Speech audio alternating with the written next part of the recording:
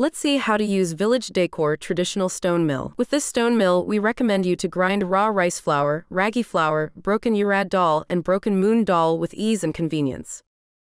We recommend this stone mill for households with 4 to 5 people, as it's perfectly sized and crafted to meet your grinding needs. Wash with water. Firstly, wash the stone mill with water, which helps to remove any residue on its surface. Dry the stone mill. Before starting, allow the stone mill to dry completely for 10 to 15 minutes. Place the stone mill on the towel.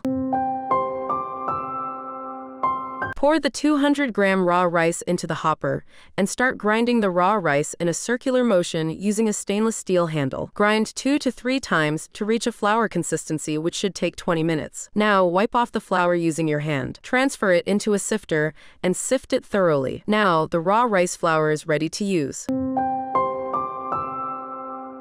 Pour the 200 gram ragi into the hopper and start grinding the ragi in a circular motion using a stainless steel handle. Grind two times to reach a flour consistency, which should take 10 to 15 minutes. Now, wipe off the flour using your hand. Transfer it into a sifter and sift it thoroughly. Now, the ragi flour is ready to use.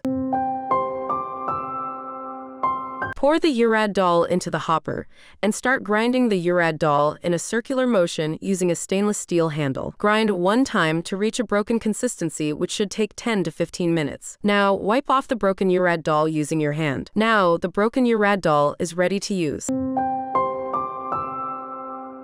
Pour the 250 gram moong dal into the hopper and start grinding the moong dal in a circular motion using a stainless steel handle. Grind one time to reach a broken consistency, which should take 10 to 15 minutes. Now, wipe off the broken moong dal using your hand. Now, the broken moong dal is ready to use. Clean and dry the stone mill before storing it for next use.